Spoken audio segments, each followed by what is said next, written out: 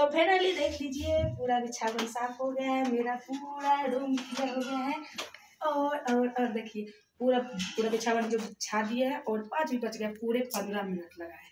हमें ये सब चिकन करने मतलब सफ़ाई करने में। और बिछावन बिछाए हैं, ठीक है। तो ये एक घंटा के बाद फिर से बिल्कुल वैसे ही हो जाएगा जैसा और क्या कर सकते देखिए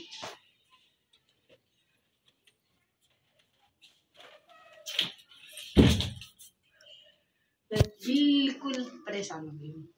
छत पर गई बिछावन लाई फिर बिछावन। बाद